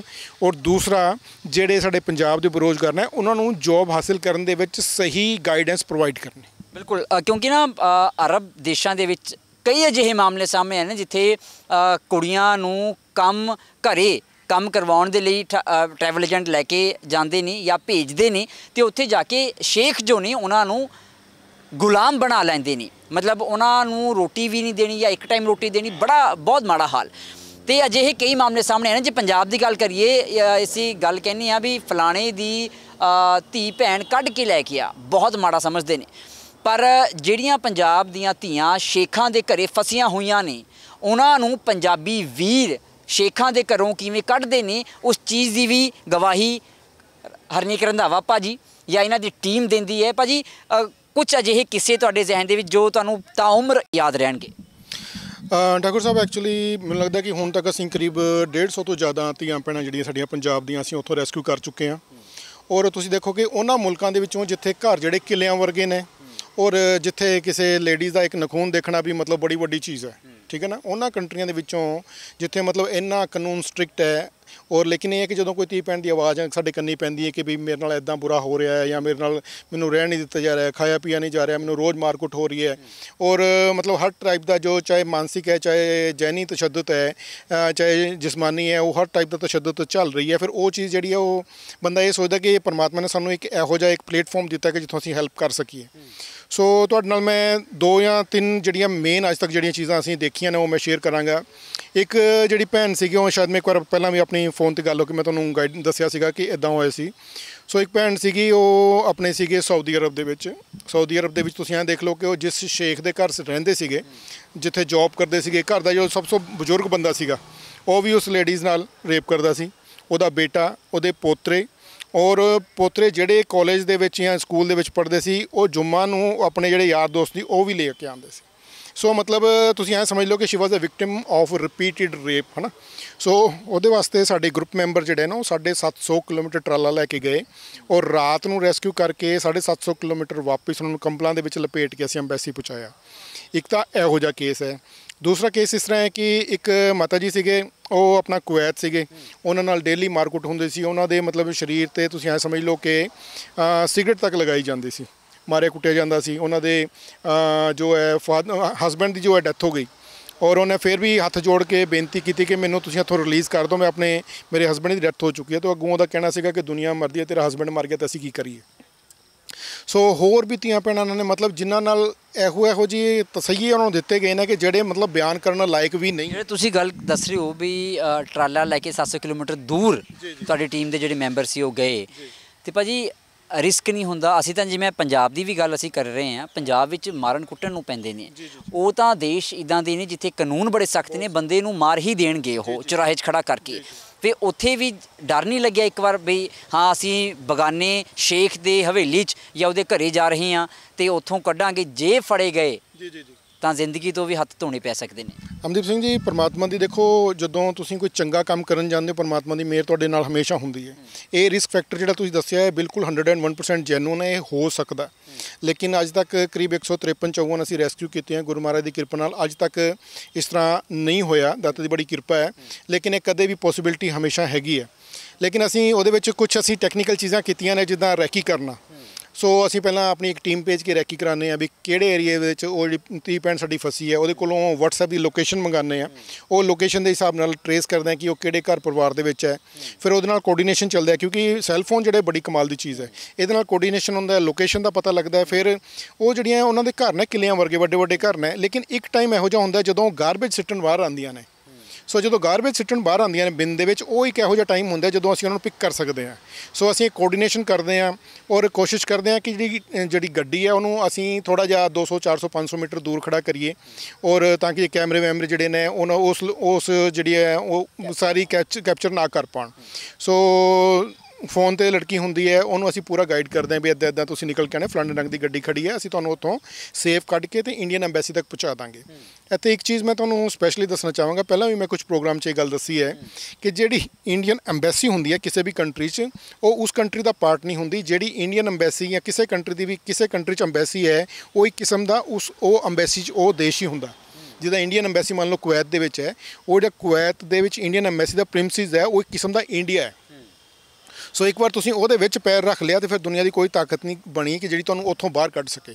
ਸੋ ਉਹਦੇ ਬਾਅਦ ਤੁਹਾਡੀ ਐਕਸਟ੍ਰੈਸ਼ਨ ਹੀ ਹੋਏਗਾ ਤੁਸੀਂ ਉੱਥੋਂ ਬਾਹਰ ਨਿਕਲ ਕੇ ਵਾਪਸ ਇੰਡੀਆ ਹੀ ਆਓਗੇ। ਹਾਂ ਉਹਦੇ ਵਿੱਚ ਟੈਕਨੀਕਲੀ ਟਾਈਮ ਲੱਗ ਸਕਦਾ ਹੈ ਕਈ ਚੀਜ਼ਾਂ ਦੇ ਵਿੱਚ ਪਲੱਸ ਮਾਈਨਸ ਹੋ ਸਕਦਾ ਹੈ। ਲੇਕਿਨ ਇਹ ਹੈ ਕਿ ਫਾਈਨਲੀ ਸੂਨਰ ਔਰ ਲੇਟਰ ਤੁਸੀਂ ਜਦੋਂ ਇੱਕ ਭਾਜੀ ਕਈ ਵਾਰ ਕੇਸਿਸ ਜਿੱਦਾਂ ਦੇ ਹੁੰਦੇ ਨੇ ਸੌਰੀ ਮੈਂ ਤੁਹਾਨੂੰ ਟੋਕ ਰਿਹਾ ਬਈ ਪਾਸਪੋਰਟ ਵੀ ਸ਼ੇਖ ਨੇ ਰੱਖਿਆ। ਠੀਕ ਹੈ ਨਾ ਉਹ ਖਰਚਾ ਦੇ ਰਹੇ ਨੇ। ਵਰਸਟ ਕੇਸਿਸ ਜਿੱਦਾਂ ਦੇ ਵੀ ਹੁੰਦੇ ਨੇ ਸ਼ਾਇਦ ਤੁਹਾਨੂੰ ਟੱਕਰੇ ਵੀ ਹੋਣਗੇ ਵੀ ਮੋਬਾਈਲ ਵੀ ਨਹੀਂ ਯੂਜ਼ ਕਰਨ ਦਿੱਤਾ ਜਾਂਦਾ। ਦੇਖੋ ਤੁਸੀਂ ਐਂ ਸਮਝ ਲਓ ਕਿ 95% ਕੇਸਿਸ ਦੇ ਵਿੱਚ ਅੱਜ ਤੱਕ ਪਾਸਪੋਰਟ ਤਾਂ ਕਦੇ ਸਾਨੂੰ ਮਿਲਿਆ ਹੀ ਨਹੀਂ। ਲੇਕਿਨ ਗਵਰਨਮੈਂਟ ਆਫ ਇੰਡੀਆ ਜਿੱਦਾਂ ਮੈਂ ਪਹਿਲਾਂ ਕਿਹਾ ਕਿ ਕਿਸੇ ਕੰਟਰੀ ਦੇ ਵਿੱਚ ਜਿਹੜੀ ਐਮਬੈਸੀ ਹੈ, ਉਹ ਇੱਕ ਕਿਸਮ ਦਾ ਪੂਰਾ ਇੰਡੀਆ ਸੈਟਅਪ ਹੈ ਉੱਥੇ। ਸੋ ਇਹ ਗਵਰਨਮੈਂਟ ਤੁਹਾਡੀ ਬਹੁਤ ਅੱਗੇ ਜਾ ਕੇ ਹੈਲਪ ਕਰਦੀ ਹੈ। ਤੁਹਾਡੇ ਕੋਲ ਪਾਸਪੋਰਟ ਨਹੀਂ ਹੈ, ਤੁਹਾਡੇ ਕੋਲ ਪਾਸਪੋਰਟ ਦੀ ਕਾਪੀ ਹੈਗੀ ਹੈ। ਤੁਹਾਨੂੰ ਆਪਣੇ ਪਾਸਪੋਰਟ ਦਾ ਨੰਬਰ ਯਾਦ ਹੈ। ਉਹ ਤੁਹਾਨੂੰ ਐਮਬੈਸੀ ਦੇ ਵਿੱਚ ਇਨ ਕਰਨ ਤੋਂ ਬਾਅਦ ਤੁਹਾਡਾ ਆਪਾਤਕਾਲੀਨ ਵਾਈਟ ਕਲਰ ਦਾ ਪਾਸਪੋਰਟ ਬਣਾ ਕੇ ਦਿੰਦੇ ਆ ਜਿਹਦੇ ਤੇ ਤੁਸੀਂ ਵਨ ਸਾਈਡ ਟਰੈਵਲ ਕਰ ਸਕਦੇ ਹੋ। ਬਾਅਦ ਚੋਂ ਇੰਡੀਆ ਚ ਆ ਕੇ ਆਪਣਾ ਫਰੈਸ਼ ਪਾਸਪੋਰਟ ਬਣਾ ਸਕਦੇ ਹੋ। ਮੋਸਟਲੀ ਕੇਸਿਸ ਦੇ ਵਿੱਚ ਪਾਸਪੋਰਟ ਸਾਨੂੰ ਕਦੇ ਨਹੀਂ ਮਿਲਦਾ। ਔਰ ਅਸੀਂ ਮਤਲਬ ਜੋ ਹੈ ਉਹ ਵਾਈਟ ਪਾਸਪੋਰਟ ਬਣਵਾ ਕੇ ਐਮਬੈਸੀ ਦੇ ਜਦੋਂ ਆਪਾਂ ਅੰਦਰ ਭੇਜਦੇ ਹਾਂ, ਉਹ ਆਪਣੀ ਕਾਰਵਾਈ ਕਰਦੇ ਨੇ। ਉਹ ਕੁੜੀਆਂ ਨੂੰ ਅੰਦਰ ਰੱਖਦੇ ਵੀ ਨੇ, ਉਹਨਾਂ ਨੂੰ ਖਿਲਾਉਂਦੇ ਪਿਲਾਉਂਦੇ ਵੀ ਨੇ, ਉਹਨਾਂ ਦੀ ਟਿਕਟਾਂ ਵੀ ਲੈ ਕੇ ਦਿੰਦੇ ਨੇ। ਕਈ ਵਾਰ ਟਿਕਟਾਂ ਅਸੀਂ ਵੀ ਲੈ ਕੇ ਦੇਣਾ, ਲੇਕਿਨ ਮੋਸਟ ਆਫ ਕੇਸਿਸ ਦੇ ਵਿੱਚ ਐਮਬੈਸੀ ਕਈ ਵਾਰ ਟਿਕਟ ਲੈ- ਲੈ ਕੇ ਦਿੰਦੀ ਹੈ। ਤੇ ਉੱਥੇ ਅੰਦਰ ਹੀ ਰੱਖਿਆ ਜਾਂਦਾ ਕੁੜੀਆਂ ਨੂੰ ਮੁੰਡਿਆਂ ਵਾਸਤੇ ਉਹ ਐਮਬੈਸੀ ਆਲਮੋਸਟ ਨਾ ਕਰਦੇ ਕਿ ਤੁਸੀਂ ਬਾਹਰ ਰੁਕ ਲਓ। ਲੇਕਿਨ ਕੁੜੀਆਂ ਨੂੰ ਇੱਕ ਵਾਰ ਜਦੋਂ ਅੰਦਰ ਆ ਜਾਂਦੀਆਂ ਨੇ ਉਹਨਾਂ ਦੀ ਕੰਪਲੇਂਟ ਲਿਖਣ ਤੋਂ ਬਾਅਦ ਜਦ ਤੱਕ ਉਹਨਾਂ ਦੀ ਫਾਈਨਲ ਫਲਾਈਟ ਨਹੀਂ ਹੁੰਦੀ ਤਾਂ ਤੱਕ ਕੁੜੀਆਂ ਨੂੰ ਐਮਬੈਸੀ ਦੇ ਵਿੱਚ ਹੀ ਰੱਖਿਆ ਜਾਂਦਾ ਹੈ। ਕਦੀ ਇਦਾਂ ਹੋਇਆ ਭਾਜੀ ਵੀ ਤੁਸੀਂ ਕੋਈ ਵੀ ਜਿਹੜੀ ਧੀ ਭੈਣ ਹੈਗੀ ਹੈ ਉਹਨੂੰ ਸ਼ੇਖ ਤੇ ਘਰੋਂ ਕੱਢ ਕੇ ਐਮਬੈਸੀ ਤੱਕ ਪਹੁੰਚਦਾ ਕਰ ਦਿੱਤਾ? ਤੇ ਪਿੱਛੋਂ ਸ਼ੇਖ ਵੀ ਪਹੁੰਚ ਗਿਆ ਜਾਂ ਸ਼ੇਖ ਨੇ ਕੋਸ਼ਿਸ਼ ਕੀਤੀ ਅਪਰੋਚ ਕਰਨ ਦੀ? ਆ ਮੋਸਟ ਆਫ ਕੇਸਿਸ ਚ ਹੁੰਦਾ ਕੀ ਹੈ ਕਿ ਜਦੋਂ ਸ਼ੇਖ ਨੂੰ ਮਤਲਬ ਸ਼ੇਖ ਦਾ ਅੰਬੈਸੀ ਚ ਕਦੇ ਨਹੀਂ ਆਂਦਾ ਉਹ ਜਿਹੜੀ ਵੀ ਕਾਰਵਾਈ ਹੁੰਦੀ ਹੈ ਇੱਕ ਪ੍ਰੋਪਰ ਪ੍ਰੋਟੋਕੋਲ ਹੈ। ਉਸ ਪ੍ਰੋਟੋਕੋਲ ਦੇ ਤਹਿਤ ਹੁੰਦਾ ਕੀ ਹੈ ਕਿ ਜਦੋਂ ਇੱਕ ਕੁੜੀ ਨੂੰ ਤੁਸੀਂ ਉੱਥੋਂ ਮਤਲਬ ਰੈਸਕਿਊ ਕਰਕੇ ਅੰਬੈਸੀ ਪਹੁੰਚਾਤਾ ਅੰਬੈਸੀ ਨੇ ਉਹਨਾਂ ਦੇ ਮਿਨਿਸਟਰੀ ਆਫ ਮੈਨ ਪਾਵਰ ਨੂੰ ਸਾਰੀ ਗੱਲਬਾਤ ਕਰਨੀ ਹੈ। ਔਰ ਫਿਰ ਜਿਹੜਾ ਉੱਥੇ ਦਾ ਮਤਲਬ ਲੇਬਰ ਕੋਰਟ ਹੈ ਲੇਬਰ ਕੋਰਟ ਦੇ ਵਿੱਚ ਉਹ ਪਾਰਟੀ ਵੀ ਆਂਦੀ ਹੈ ਔਰ ਇਹ ਕੁੜੀ ਵੀ ਜਾਂਦੀ ਹੈ। ਉੱਥੇ ਫਿਰ ਜਿਰਾ ਹੁੰਦੀ ਹੈ ਵੀ ਮੈਨੂੰ ਆਹ ਚੀਜ਼ਾਂ ਕਹਿ ਕੇ ਬੁਲਾਇਆ ਸੀ ਔਰ ਮੇਰੇ ਨਾਲ ਆਹ ਚੀਜ਼ ਕਰਦੇ ਰਹੇ ਆ ਲੇਕਿਨ ਅਸੀਂ ਬਹੁਤ ਕੁਝ ਕਹਿੰਦੇ ਆ ਕਿ ਅਰਬ ਦਾ ਕਾਨੂੰਨ ਬੜਾ ਵਧੀਆ ਦਿਸ ਐਂਡ ਦੈਟ ਸਭ ਕੁਝ ਹੈ। ਉਹ ਸਾਰੇ ਕਾਨੂੰਨ ਮੈਨੂੰ ਲੱਗਦਾ ਖਾਰਜੀਆਂ ਵਾਸਤੇ ਨੇ ਬਾਹਰਲਿਆਂ ਵਾਸਤੇ ਉਹਨਾਂ ਤੇ ਕੋਈ ਕਾਨੂੰਨ ਲਾਗੂ ਨਹੀਂ ਹੁੰਦਾ। ਅਗਰ ਲਾਗੂ ਹੁੰਦਾ ਹੁੰਦਾ ਤੇ 150 ਕੁੜੀਆਂ ਕਢਾਈਆਂ ਨੇ ਕਿਸੇ ਇੱਕ ਅਰਬੀ ਨੂੰ ਕਦੇ ਕਦੇ ਤਾਂ ਸਜ਼ਾ ਹੋਈ ਹੁੰਦੀ। ਅਰਬੀ ਛੱਡੋ ਭਾਜੀ ਜਿਹੜੇ ਬੰਦੇ ਇਹਨਾਂ ਕੁੜੀਆਂ ਨੂੰ ਜਾਂ ਮੁੰਡਿਆਂ ਨੂੰ ਲੈ ਕੇ ਜਾਂਦੇ ਨੇ ਉਹ ਤਾਂ ਸਾਡੇ ਆਪਣੇ ਨੇ ਨਾ। ਉਹ ਤਾਂ ਪੰਜਾਬ ਦੇ ਏਜੰਟ ਨੇ। ਤੇ ਅਜਿਹੇ ਏਜੰਟਾਂ ਬਾਰੇ ਤੁਸੀਂ ਕੀ ਕਹਿਣਾ ਚਾਹੋਗੇ? ਜਿਹੜੇ ਇੱਥੋਂ ਘਰੋਂ ਧੀਆਂ ਪੁੱਤਾਂ ਨੂੰ ਚੁੱਕਦੇ ਨੇ ਤੇ ਸ਼ੇਖਾਂ ਕੋਲ ਫਸਾ ਦਿੰਦੇ ਨੇ। ਵੀਰ ਜੀ ਮੈਨੂੰ ਲੱਗਦਾ ਹੈ ਕਿ ਇਹਦੇ ਵਿੱਚ ਏਜੰਟਾਂ ਦੀ ਗਲਤੀ ਤਾਂ ਚਲੋ 100% ਹੈ ਹੀ ਹੈ ਲੇਕਿਨ ਅਸਲੀ ਜੋ ਕਮੀ ਹੈ ਉਹ ਹੈਗੀਆਂ ਨਿਕੰਮੀਆਂ ਸਰਕਾਰਾਂ 'ਚ। ਠੀਕ ਹੈ ਜੀ? ਅਗਰ ਸਰਕਾਰਾਂ ਮਤਲਬ ਜਦੋਂ ਦੀਆਂ ਜਦ- ਦੇਖੋ ਨਾ, ਜਦੋਂ ਦਾ ਦੇਸ਼ ਆਜ਼ਾਦ ਹੋਇਆ ਹੈ, ਆਪਣੇ ਪੰਜਾਬ ਦੇ ਲੋਕਾਂ ਦੇ ਕੋਲ ਹੀ ਆਪਣੀ ਪੰਜਾਬ ਦੀ ਸਰਕਾਰ ਹੈ ਨਾ ਜੀ? ਅਗਰ ਉਹ ਕੁਝ ਕਰਨਾ ਚਾਹੁੰਦੇ ਤਾਂ ਬਹੁਤ ਕੁਝ ਕਰ ਸਕਦੇ ਸੀ। ਲੇਕਿਨ ਇਹ ਲੋਕਾਂ ਨੇ ਬਾਰੀਆਂ ਬੰਨੀਆਂ ਹੋਈਆਂ ਨੇ, ਇੱਕ ਵਾਰ ਤੂੰ ਲੁੱਟ ਲੈ, ਮੈਂ ਚੁੱਪ ਰਾਂਗਾ ਇੱਕ ਵਾਰ ਮੈਂ ਲੁੱਟ ਲੈਣਾ ਤੂੰ ਚੁੱਪ ਰਹਿ। ਸੋ ਇਹ ਬਾਰੀਆਂ ਬੰਨੀਆਂ ਇਹਨਾਂ ਨੇ, ਇੱਕ ਦੂਜੇ ਨੂੰ ਲੁੱਟਣ ਦੀਆਂ। ਅਦਰਵਾਈਜ਼ ਜਿੰਨਾ ਪੈਸਾ ਇਹਨਾਂ ਨੇ ਆਪਣੇ ਖੋਪਚੇ 'ਚ ਪਾਇਆ, ਜਿੰਨਾ ਪੈਸੇ ਨਾਲ ਆਪਣੇ ਇਹਨਾਂ ਨੇ ਖਜ਼ਾਨੇ ਭਰੇ ਨੇ, ਅਗਰ ਉਹ ਪੈਸਾ ਅਗਰ ਵਾਕਈ ਪੰਜਾਬ ਦੀ ਜਨਤਾ ਤੇ ਲੋਕਾਂ ਤੇ ਲਗਾਉਂਦੇ ਤੇ ਜਿਹੜੇ ਲੋਕ ਅਸੀਂ ਮੁਗਲਾਂ ਤੋਂ ਧੀਆਂ ਪੈਣਾ ਛਡਾ ਕੇ ਲੈ ਕੇ ਆਂਦੇ ਸੀ, ਅੱਜ ਸਾਡੀਆਂ ਧੀਆਂ ਪੈਣਾ ਨੂੰ ਆਪ ਮੁਗਲਾਂ ਕੋਲ ਨਾ ਜਾਣਾ ਪੈਂਦਾ। ਬਹੁਤ ਵੱਡੀ ਗੱਲ ਭਾਜੀ ਨੇ ਕੀ ਹੈ ਵੀ ਜਦ ਇੱਕ ਸਮਾਂ ਉਹ ਸੀ ਜਦੋਂ ਧੀਆਂ ਭੈਣਾਂ ਨੂੰ ਮੁਗਲਾਂ ਤੋਂ ਬਚਾ ਕੇ ਲਿਆਇਆ ਜਾਂਦਾ ਸੀ ਤੇ ਅੱਜ ਸਮਾਂ ਉਹ ਹੈ ਕਿ ਧੀਆਂ ਭੈਣਾਂ ਨੂੰ ਮਜਬੂਰੀ ਵਜੋਂ ਸ਼ੇਖਾਂ ਦੇ ਕੋਲ ਜਾਣਾ ਪੈ ਰਿਹਾ ਹੈ ਸਿਰਫ ਦੋ ਵਕਤ ਦੀ ਰੋਟੀ ਕਮਾਉਣ ਦੇ ਲਈ, ਆਪਣੇ ਪਰਿਵਾਰ ਦੇ ਲਈ। ਭਾਜੀ ਨੌਜਵਾਨਾਂ ਨੂੰ ਤੁਸੀਂ ਕੀ ਸੁਨੇਹਾ ਦੇਣਾ ਚਾਹੋਗੇ? ਕਿਉਂਕਿ ਤੁਹਾਨੂੰ ਜਿਵੇਂ ਸੋਸ਼ਲ ਮੀਡੀਆ ਤੇ ਵੀ ਇੱਕ ਬਹੁਤ ਵੱਡਾ ਤਬਕਾ ਜੋ ਫੋਲੋ ਕਰਦਾ ਹੈ।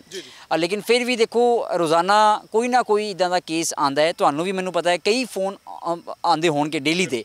ਤੇ ਉਹਨਾਂ ਦੇ ਵਿੱਚੋਂ ਕਿੰਨੇ ਕੁ ਜਿਹੜੇ ਨੇ ਉਹ ਸਿਰੇ ਤੱਕ ਪਹੁੰਚਦੇ ਨੇ? ਅ, ਅੱਜ ਤੱਕ ਕਦੇ ਗੁਰੂ ਮਹਾਰਾਜ ਦੀ ਕਿਰਪਾ ਨਾਲ ਇਸ ਤਰ੍ਹਾਂ ਨਹੀਂ ਹੋਇਆ ਕਿ ਕਦੇ ਕਿਸੇ ਨੇ ਸਾਨੂੰ ਕੰਟੈਕਟ ਕੀਤਾ ਹੋਏ ਔਰ ਅਸੀਂ ਉਹਨੂੰ ਇਹ ਕਹਿ ਦਿੱਤਾ ਹੋਏ ਕਿ ਅਸੀਂ ਤੇਰੀ ਹੈਲਪ ਨਹੀਂ ਕਰ ਸਕਦੇ। ਹਾਲਾਂਕਿ ਕਈ ਵਾਰ ਦਿਲ 'ਚ ਆਉਂਦਾ ਹੈ।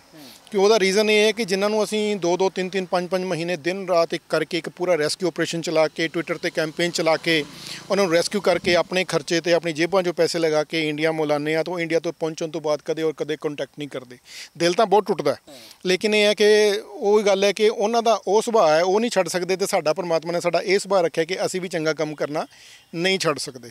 ਸੋ ਪਰਮਾਤਮਾ ਦੀ ਬੜੀ ਕਿਰਪਾ ਹੈ। ਹੁਣ ਮੈਂ ਅਗਰ ਇਹ ਸੋਚ ਲਾਂ ਕਿ ਕਿਸ ਨੇ ਆ ਕੇ ਮੈਨੂੰ ਕੰਟੈਕਟ ਨਹੀਂ ਕੀਤਾ, ਮੈਂ ਕਦੇ ਕਿਸੇ ਦੀ ਮਦਦ ਨਹੀਂ ਕਰਨੀ, ਤੇ ਤੁਸੀਂ ਇਹ ਦੇਖੋ ਕਿ ਐਡਾ ਵੱਡਾ ਸੈਟਅਪ ਲੈ ਕੇ, ਐਡਾ ਵੱਡਾ ਗਰੁੱਪ ਲੈ ਕੇ, ਜਿਹਦੇ ਕਿ ਅਸੀਂ ਮਦਦ ਕਰ ਸਕਦੇ ਹਾਂ। ਉਹਦੇ ਬਾਵਜੂਦ ਅਗਰ ਕੋਈ ਅਰਬ ਚੋਂ ਸਾਨੂੰ ਕੋਈ ਧੀ, ਭੈਣ ਜਾਂ ਭਰਾ ਕਾਲ ਕਰੇ, ਅਸੀਂ ਕਹਦੇ ਕਿ ਅਸੀਂ ਤੇਰੀ ਮਦਦ ਨਹੀਂ ਕਰਨੀ ਪਈ, ਤੇ ਫਿਰ ਇੰਨੇ ਵੱਡੇ ਸੈਟਅਪ ਦਾ ਫਾਇਦਾ ਵੀ ਕੁਝ ਨਹੀਂ ਹੈ। ਸੋ ਅੱਜ ਤੱਕ ਇਸ ਤਰ੍ਹਾਂ ਕਦੇ ਨਹੀਂ ਹੋਇਆ। ਕਿ ਅਸੀਂ ਮਤਲਬ ਕਿਸੇ ਨੇ ਜੋ ਹੈ ਉਹ ਕਿਹਾ ਹੋਏ ਕਿ ਵੀ ਮੇਰੀ ਹੈਲਪ ਕਰੋ ਔਰ ਅਸੀਂ ਉਹਦੀ ਹੈਲਪ ਨਾ ਕਰ ਸਕੇ ਹੋਈਏ। ਸੋ ਪਰਮਾਤਮਾ ਦੀ ਕਿਰਪਾ ਨਾਲ ਅੱਜ ਤੱਕ ਜਿੰਨੇ ਵੀ ਕੇਸਿਸ ਸਾਡੇ ਕੋਲ ਆਏ ਨੇ ਮੋਸਟ ਆਫ ਕੇਸਿਸ ਦੇ ਵਿੱਚ ਤੁਸੀਂ ਐ ਸਮਝ ਲਓ ਕਿ 99% ਕੇਸਿਸ ਦੇ ਵਿੱਚ ਜਿਹੜੀ ਧੀ ਭੈਣ ਨੇ ਅੱਜ ਤੱਕ ਕੰਟੈਕਟ ਕੀਤਾ ਹੈ, ਉਹਨੂੰ ਅਸੀਂ ਵਾਪਸ ਪਹੁੰਚਾ ਕੇ ਛੱਡਿਆ ਔਰ 5-5 6-6 ਮਹੀਨੇ ਤੋਂ ਪਈਆਂ ਉੱਥੇ ਜਿਹੜੀਆਂ ਡੈੱਡ ਬੋਡੀਜ਼ ਪਈਆਂ ਨੇ, ਉਹ ਵੀ ਅਸੀਂ ਆਪਣੇ ਖਰਚੇ ਤੇ 30-40 ਡੈੱਡ ਬੋਡੀਜ਼ ਹੁਣ ਤੱਕ ਫਲੋਟ ਕੀਤੀਆਂ ਨੇ। ਅਲੱਗ-ਅਲੱਗ ਕੰਟਰੀਜ਼ ਦੇ ਵਿੱਚ ਜਿੱਦਾਂ ਰਮਨ ਸ਼ਰਮਾ ਜੀ ਨੇ, ਕੁਵੈਤ ਦੇ ਵਿੱਚ ਨੇ ਜੱਸੀ ਬੈਂਸ ਵੀਰ ਹੈ, ਸਾਊਦੀ ਦੇ ਵਿੱਚ ਨੇ, ਬਲਜਿੰਦਰ ਜੀ ਨੇ, ਦੁਬਈ ਦੇ ਵਿੱਚ ਨੇ। ਸੋ ਇਹ ਸਾਡੇ ਹੀਰਿਆਂ ਵਰਗੇ ਇਹੋ ਜਿਹੇ ਵੀਰ ਨੇ ਕਿ ਜਿਨ੍ਹਾਂ ਨੂੰ ਅਸੀਂ ਕੋਈ ਕੰਮ ਦੱਸ ਦਈਏ, ਉਹਨਾਂ ਨੂੰ ਚੰਨ ਚੜ ਜਾਂਦਾ ਕਿ ਵੀਰ ਨੇ ਸਾਡੀ ਕੋਈ ਡਿਊਟੀ ਲਗਾਈ ਹੈ। ਤੇ ਉਹਦੇ ਵਿੱਚ ਫਿਰ ਕੋਈ ਧੀ ਭੈਣ ਫਸੀ ਹੈ, ਚਾਹੇ ਕਿਸੇ ਦੀ ਡੈੱਡ ਬੋਡੀ ਫਸੀ ਹੈ, ਚਾਹੇ ਕੋਈ ਵੀਰ ਵੈਸੇ ਫਸਿਆ ਹੈ, ਉਹਦੀ ਜੌਬ ਨਹੀਂ ਲੱਗ ਰਹੀ, ਖਾਣ ਪੀਣ ਦੀ ਦਿੱਕਤ ਹੈ, ਤੇ ਰਾਸ਼ਨ ਵੀ ਪਹੁੰਚਾ ਕੇ ਆਨੇ ਆ ਕਈ ਵਾਰ, ਆਪਣੇ ਪੱਲਿਆਂ ਚੋਂ ਜੇਬ ਚੋਂ ਪੈਸੇ ਵੀ ਦਿੰਨੇ ਆ, ਸਭ ਕੁਝ ਕਰਨੇ ਆ। ਲੇਕਿਨ ਐਕਚੁਅਲ ਇਹ ਕੰਮ ਜਿਹੜੇ ਨੇ ਉਹ ਗਵਰਨਮੈਂਟਾਂ ਦੇ ਨੇ ਲੇਕਿਨ ਜਿਹੜੇ ਸਾਨੂੰ ਕਰਨੇ ਪੈ ਰਹੇ ਨੇ, ਜਿੱਦਾਂ ਮੈਂ ਪਹਿਲਾਂ ਕਿਹਾ ਕਿ ਅਗਰ ਨਿਕੰਮੀਆਂ ਸਰਕਾਰਾਂ ਨਾ ਹੁੰਦੀਆਂ ਤੇ ਕਿਸੇ ਨੂੰ ਜਾਣ ਦੀ ਲੋੜ ਨਾ ਪੈਂਦੀ, ਹਨਾ ਜੀ? ਸੋ ਕਿਉਂਕਿ ਉਹਨਾਂ ਕੋਲ ਤੇਲ ਹੈ ਸਿਰਫ, ਇੱਕ ਤੇਲ ਕਰਕੇ ਅਸੀਂ ਉੱਥੇ ਜਾਂਦੇ ਆ ਹਨਾ ਨਹੀਂ ਅਦਰਵਾਈਜ਼ ਅੱਜ ਤੋਂ 40 50 ਸਾਲ ਪਹਿਲਾਂ ਕੋਈ ਵੀ ਨਹੀਂ ਸੀ ਜਾਂਦਾ, ਹਨਾ? ਸੋ ਅਸੀਂ ਆਪਣੇ, ਮੈਂ ਆਪਣੀ ਸੰਭਾਲ ਦੇ ਵਿੱਚ ਚੰਗੀ ਤਰ੍ਹਾਂ, ਮੈਨੂੰ ਯਾਦ ਹੈ ਕਿ ਅਫਗਾਨਿਸਤਾਨ ਤੋਂ ਲੋਕੀ ਮੋਢੇ ਤੇ ਘੋੜਾ ਰੱਖ ਕੇ ਇੰਡੀਆ ਦੇ ਵਿੱਚ ਲੱਕੜਾਂ ਪਾੜਨ ਆਉਂਦੇ ਸੀ। ਮੈਂ 83 84 ਤੱਕ ਇਹ ਚੀਜ਼ਾਂ ਆਪਣੀ ਅੱਖੀਂ ਦੇਖੀਆਂ ਨੇ। ਲੇਕਿਨ ਹੁਣ ਟਾਈਮ ਟਾਈਮ ਦੀ ਗੱਲ ਹੈ, ਉਹਨਾਂ ਦੇ ਤੇਲ ਨਿਕਲ ਆਇਆ, ਸਾਨੂੰ ਉੱਥੇ ਜਾਣਾ ਪੈਂਦਾ ਜੀ। ਕਿਉਂਕਿ ਇਹ ਸਾਡੀਆਂ ਸਰਕਾਰਾਂ ਨਹੀਂ ਕਮੀਆਂ, ਇਹ ਸਾਨੂੰ ਰੋਜ਼ਗਾਰ ਨਹੀਂ ਦੇ ਪਾਈਆਂ, ਇਸ ਕਰਕੇ ਬਾਹਰ ਦੇ ਧੱਕੇ ਖਾਣੇ ਪੈਂਦੇ ਜੀ ਸਰ ਦਾ ਤਾਰੁਫ ਵੀ ਜ਼ਰੂਰ ਕਰਵਾਓ, ਇਹ ਤੁਹਾਡੀ ਟੀਮ ਦੇ ਮੈਂਬਰ ਨੇ। ਹਾਂਜੀ, ਇਹ ਆਪਣਾ, ਇਹਨਾਂ ਦਾ ਨਾਮ ਹੈ ਸਰਦਾਰ ਹਰਭਜਨ ਸਿੰਘ ਜੀ, ਔਰ ਜੋ ਸਾਡਾ ਗਰੁੱਪ ਹੈ ਹਰਨੇਕ ਦਾ ਹੈਲਪਲਾਈਨ ਕੈਨੇਡਾ ਇਹ ਉਸਦੇ ਖਜ਼ਾਨਚੀ ਨੇ, ਔਰ ਜਦੋਂ ਅਸੀਂ ਸਾਰੇ ਗਰੁੱਪ ਦੀ ਜੋ ਹੈ ਹੈਲਪ ਨਾਲ ਗੁਰਕਿਰਪਾ ਨਿਵਾਸ 1 ਬਣਾਇਆ ਸੀਗਾ, ਉਸ ਦਿਨ ਤੋਂ ਇਹ ਸਾਡੇ ਨਾਲ ਜੁੜੇ ਹੋਏ ਨੇ, ਔਰ ਹੁਣ ਗੁਰ- ਗੁਰਕਿਰਪਾ ਨਿਵਾਸ 5 ਚੱਲ ਰਿਹਾ ਹੈ। ਉਸ ਦੇ ਵਿੱਚ ਜੋ ਵੀ ਸੇਵਾ ਆਂਦੀ ਹੈ ਬਾਹਰੋਂ, ਉਹ ਸਾਰਾ ਉਸ ਦਾ ਜੋ ਲੇਖਾ ਜੋਖਾ ਵੀਰ ਜੀ ਰੱਖਦੇ ਨੇ ਔਰ ਉਹਨਾਂ ਨੂੰ ਜੋ ਟਰਾਂਸਫਰ ਹੈ, ਉਹ ਵੀਰ ਜੀ ਕਰਦੇ ਨੇ ਔਰ ਸਾਰੀ ਦੇਖ ਰੇਖ ਵੀ ਇਸ ਤਾਂ ਬਾਹਰ ਹੀ ਆ ਗੁ- ਹੁਣ ਤੱਕ ਗੁਰਕਿਰਪਾ ਨਿਵਾਸ 4 ਬਣ ਚੁੱਕੇ ਨੇ, ਸਾਰੇ ਵੀਰ ਦੀ ਨਿਗਰਾਨੀ 'ਚ ਬਣੇ ਨੇ ਔਰ ਅੱਗੋਂ ਗੁਰਕਿਰਪਾ ਨਿਵਾਸ 5 ਬਣ ਰਿਹਾ ਕੁਦਰਤੀ, ਇਸ ਵਾਰ ਮੈਂ ਘਰ ਆਂਗਾ। ਲੇਕਿਨ ਸਾਰੀ ਜਿਹੜੀ ਸੇਵਾ ਹੈ, ਮਕਾਨਾਂ ਦੀ ਜੋ ਸੇਵਾ ਹੈ, ਉਹਦੇ ਵਿੱਚ ਵੀਰ ਜੀ ਦਾ ਸਾਰਾ ਯੋਗਦਾਨ ਹੈ ਬਿਲਕੁਲ ਦੇਖੋ, ਇੱਕ ਟੀਮ ਵਰਕ ਹੁੰਦਾ ਹੈ। ਬਹੁਤ ਚੰਗਾ ਤੁਸੀਂ ਤੇ ਬਹੁਤ ਨੇਕ ਕੰਮ ਕਰ ਰਹੇ ਹੋ। ਪਰਮਾਤਮਾ ਜਿਵੇਂ ਤੁਸੀਂ ਕਿਹਾ ਹੈ ਕਿ ਗੁਰ ਕਿਰਪਾ ਨਿਵਾਸ ਗੁਰੂ ਜੀ ਤੁਹਾਡੇ ਤੇ ਵੀ ਕਿਰਪਾ ਬਣਾ ਕੇ ਰੱਖਣ ਇਹ ਅਰਦਾਸ ਕਰਾਂਗੇ। ਹਰਨੀਕ ਰੰਧਾਵਾ ਭਾਜੀ ਜੀ ਬਿਲਕੁਲ ਠੀਕ ਹੈ ਜੇ ਸਰਕਾਰਾਂ ਨਿਕੰਮੀਆਂ ਨਾ ਹੁੰਦੀਆਂ ਤਾਂ ਸ਼ਾਇਦ ਹਰਨੀਕ ਰੰਧਾਵਾ ਹੈਲਪਲਾਈਨ ਕੈਨੇਡਾ ਵੀ ਨਾ ਹੁੰਦੀ। ਇਹ ਨਿਕੰਮੀਆਂ ਸਰਕਾਰਾਂ ਦੀ ਵਜ੍ਹਾ ਕਰਕੇ ਹੀ ਹਰਨੀਕ ਰੰਧਾਵਾ ਹੈਲਪਲਾਈਨ ਕੈਨੇਡਾ ਬਣੀ ਹੈ ਤੇ ਬਾਖੂਬੀ ਕੰਮ ਕਰ ਰਹੀ ਹੈ। ਉਹ ਕੰਮ ਕਰ ਰਹੀ ਹੈ ਜੋ ਸ਼ਾਇਦ ਸਾਡੀਆਂ ਨਿਕੰਮੀਆਂ ਸਰਕਾਰਾਂ ਨੂੰ ਕਰਨਾ ਚਾਹੀਦਾ ਸੀ। ਪਰ ਠੱਗ ਟਰੈਵਲ ਏਜੰਟਾਂ ਦੀ ਠੱਗੀ ਨੂੰ, ਉਹਨਾਂ ਦੀਆਂ ਕਰਤੂਤਾਂ ਨੂੰ ਵੀ ਨਜ਼ਰਅੰਦਾਜ਼ ਨਹੀਂ ਕੀਤਾ ਜਾ ਸਕਦਾ। ਇੱਕ ਬੇਨਤੀ ਜ਼ਰੂਰ ਮੈਂ ਸਾਰੇ ਵੀਰਾਂ ਨੂੰ ਤੇ ਭੈਣਾਂ ਨੂੰ ਕਰਨੀ ਚਾਹਾਂਗਾ ਕਿ ਤੁਸੀਂ ਕਿਸੇ ਵੀ ਏਜੰਟ ਕੋਲ ਫਸਣ ਤੋਂ ਪਹਿਲਾਂ ਡੀਸੀ ਦਫ਼ਤਰ ਜਾ ਕੇ ਜ਼ਰੂਰ ਪੜਤਾਲ ਕਰੋ ਕਿ ਬੰਦਾ ਠੀਕ ਹੈ ਜਾਂ ਨਹੀਂ। ਉਸ ਤੋਂ ਬਾਅਦ ਤੁਸੀਂ ਅਗਲੀ ਕਾਰਵਾਈ ਵੱਲ ਤੁਰੋ। ਕੈਮਰਾ ਪਰਸਨ ਮਨੋਜ ਦੇ ਨਾਲ ਠਾਕੁਰ ਅਮਨਦੀਪ ਸਿੰਘ ਦੇ ਖਬਰਸਾਰ, ਚੰਡੀਗੜ੍ਹ।